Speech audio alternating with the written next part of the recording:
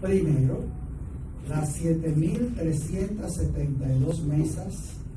están instaladas ya en los 3.890 recintos. Estamos preparados, listos, justo para recibir mañana, a partir de las 8 de la mañana, tanto a las personas que se han inscrito, que fueron inscritas por el Partido Revolucionario Moderno en su padrón cerrado,